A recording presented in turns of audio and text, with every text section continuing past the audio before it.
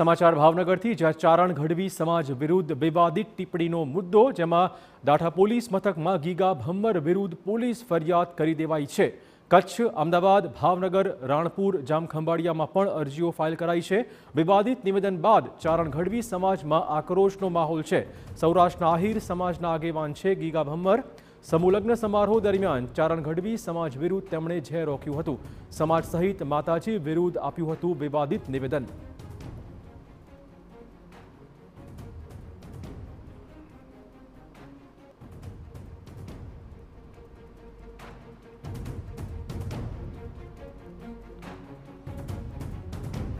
આખા ગઢવી સમાજ ગુજરાત રાજ્યમાં ખૂબ જ રોષ છે